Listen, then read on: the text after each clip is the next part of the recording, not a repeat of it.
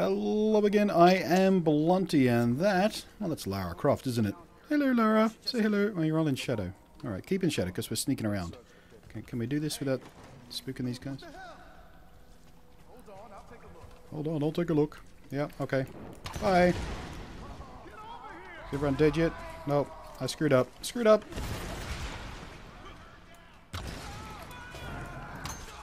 Okay, just let me, uh, just let me go ahead and take care of these guys for a second.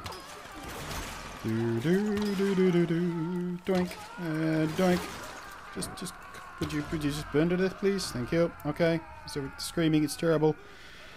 Yeah, the the the idea there is you you got to be more stealthy and then blow them up with the gas. And but I screwed it up because I, I wanted the salvage. Anyway, hi. Everyone's dead now, and I am Blunty. And there's hey, come down here in the light, Lara. Come down here in the light. Come say hello to the people. Hello. Oh, hello. Okay, fine. So, uh, Tomb Raider. And the reason I'm playing Tomb Raider is... Oh, hello. What's this thing? I wanted that. Uh, the reason we're playing Tomb Raider here is because uh, I want to show off the new GeForce Experience thingamabobs uh, in the new beta GeForce Experience early access thingy. I made a video about this uh, already when they first announced it covering, you know, what to expect, but now it's actually ready. Oh, stinky smoke. Stinky smoke. Get away from the stinky smoke. Now it's actually uh, it's ready for testing. So uh, now that the room's clear, I think we're pretty safe. We can start fiddling around a bit. So, all right.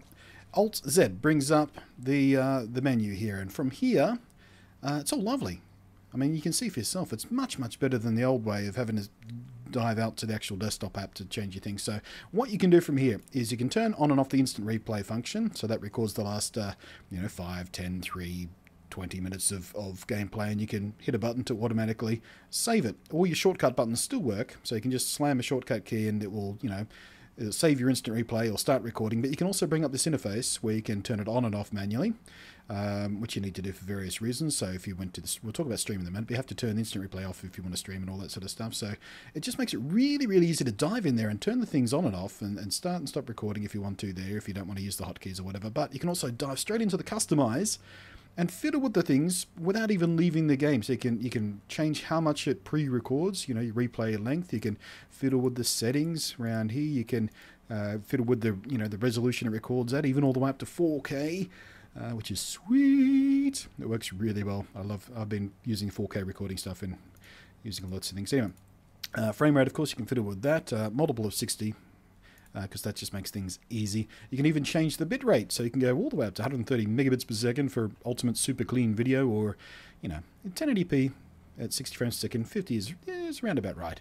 Um, you know, good economy balance. Anyway, I'm not, I'm not here to do a, a video tutorial and, and, the pros and cons of bit rates versus resolutions, but as you can see, you can just dive in there and, and get to stuff really, really easily. Same thing for the record, uh, pretty much exact the same interface. You can fiddle with the resolution you're recording at, the in-game resolution 4K or 1440p, blah, blah, blah, blah, blah, um, and the frame rate and all that sort of stuff, and your, your bit rate.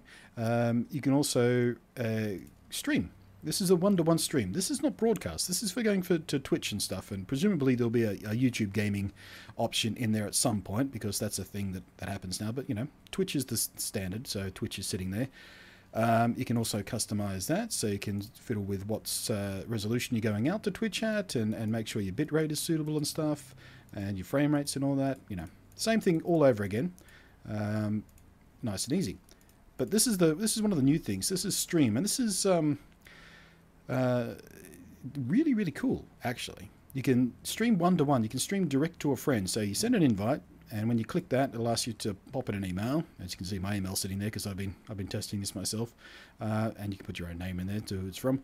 Um, and you can send them an email, uh, an invite, and they get a invite in their email. Obviously, a little URL. You click on the URL, uh, open it up in your browser, install a little plugin, and and suddenly you're streaming direct to that. And I've got, you know, I'm showing a little footage here that I've pre-recorded to try and uh, have a look at the latency. And we'll step through this frame by frame. You can see it's only a couple of, you know, one or two frames behind. It's really, really low latency.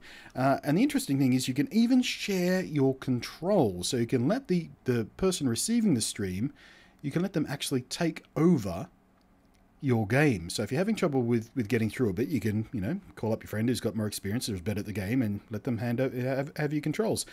You can also, and I talked about this in the original video as well, where I went after the first announcement, you can also do streaming multiplayer. So if your game has a local multiplayer uh, uh, option, where you know two controls to one computer, you can actually this is you can do it across the internet now, uh, which is really really awesome.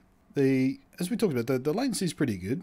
Um, you know, it's, it's really you know you can can actually play it live. And my internet, by the way, Australian internet, it's a bit rubbish. Your mileage may vary depending on sort of the upload and download bandwidth you've got available to you, uh, but it looks a bit ragged, and you know it'll occasionally freeze up. And I should point out that on the day I was recording this, I was having some issues with my own internet as well. I've, had, I've done other tests over the days that have gone a bit smoother than this, but you get the idea what I'm what I'm saying is you get the idea. You should try it for yourself and see how it works for you on your connection because uh, everyone's going to be a little bit different depending on how their internet connection behaves for them. Uh, so no worries there. But yeah, it's really really cool and I really love that feature quite a lot. All right, so I've just I've dropped back down to the desktop here. I've closed off the game because I want to show you it works here too. Works in the desktop. Same thing. Uh, it works in I think every game I've tried so far. It's worked straight away. Uh, it is still early access beta, so it is occasionally a bit buggy. Like uh, a couple of times I've gone to send the invite. Uh, okay, so I'm not running a, a, game full screen. It doesn't want to stream the desktop for you know uh, whatever reason. Uh, but yeah, a couple of times I've, I've brought that up and, and haven't been able to type in the text boxes, and I've had the game crash on me a couple of times. I'm not sure whether that was the game or the fact that I'm running beta drivers or something to do with a new overlay, but I, I, Tomb Raider did crash on me at one point. Uh, but anyway, so yeah, we talked about all that. Uh, there's also the gallery, which isn't working at the moment. This should be full of video clips that I've recorded, both manually, uh, manually recorded, and any clips I've saved out of the instant, uh, uh, uh the instant replay thingy. But for some reason, it's, it's it's just not showing me anything. I'm not sure whether it's broken or they haven't implemented this particular feature yet. I really I should read the notes on the on the beta. I did I didn't read anything. I just installed it and started playing. but the uh, the idea is all your clips will be displayed here. And from here, you can select your clips and then do some basic editing, sort of top and tail them, and then upload them straight away to YouTube and stuff. And when that's working, I'll, I'll do a video on that, I suppose. But for now, um, I just wanted to point out, oh, you can also turn on and off your camera. Uh, if you you can you set up your web camera to you know put your little face in one of the corners where you're playing if you want to record that way. Uh, you can also turn on and off the uh, the microphone, um, and you can also turn push to talk on or off or always on or always off. You know, fiddle you know make sure your, your, your microphone's doing the thing you want your microphone to do, basically. So, a really nice and really, really quick way just to get straight to the important settings to do with the uh, you know the the GeForce Experience uh, thing, particularly the, the, all the recording stuff, which I really like. I love being able to just dive in here and fiddle with the recordings, depending on what I'm planning to do with the video file. So if I'm I'm recording for a YouTube video, I'm going to go 1080p 60 FPS. If I'm just recording something quick and dirty, I want to squirt up to uh, I, I don't know Twitter or Vine or something. I, I, may choose one of the you know little ones there at 30 frames per second, or I can switch into 4K if I'm recording that for some reason. Um, it just makes it really, really, really quick and easy just to dive into that stuff instead of having to do what we used to have to do. And that would be sort of tab out to the desktop and, and bring up the GeForce experience and then go into the settings manually. Come on, load up for me do do do do. So, so you, know, you used to have to sort of dive down into these menus here and, and, crawl into the settings and, and, and fiddle with the things and the stuff and things. Well, you don't need to do that anymore. You just go Alt Z and bring it up and you go zap, zap, bibbity bap, and there you're done. That, you know, that would have taken like two minutes before. And, and what it took me, what, you know, 10 seconds? It's brilliant.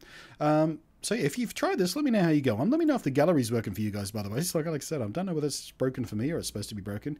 Um, and also, you know, uh, hit up N, G, NVIDIA on the on the Twitters. I think at uh, GeForce, at, at NVIDIA GeForce. I forget which one. I'll put it on the screen for you. There's a few different NVIDIA Twitters that, that handle different aspects of the thing. But, you know, talk to the GeForce people and let them know how you're going on with the whole thing because it is uh, open to, uh, to, you know, the public right now. It's uh, early access beta, but anyone can install it and start start playing with it.